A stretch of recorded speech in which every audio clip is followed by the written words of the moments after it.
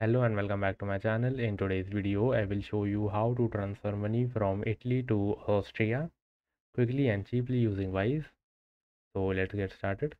In order to transfer money from Italy to Australia, Austria, you must have a Wise account. If you don't have one, you can easily create one for free.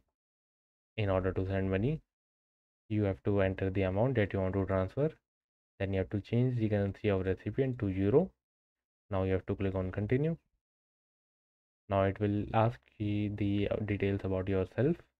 You have to enter the country of residence legal name date of birth and phone number. Then you have to click on continue. Now it will ask you about the recipient details.